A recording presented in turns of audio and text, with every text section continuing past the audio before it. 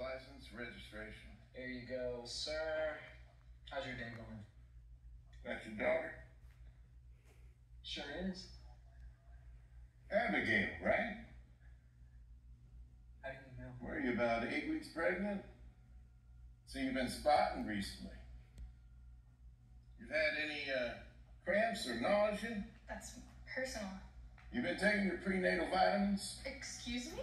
Are you ticketing me for something? Where are you heading, Abigail? To go see my older sister, Natalie. Well, that's strange.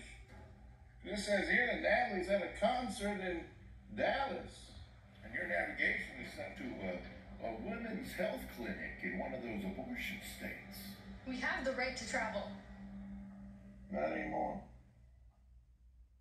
Step out of the car. Please, officer. Both of you out now.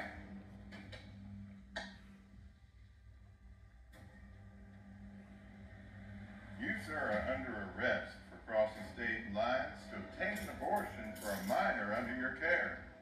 And you, young lady, well, you're under arrest for evading motherhood.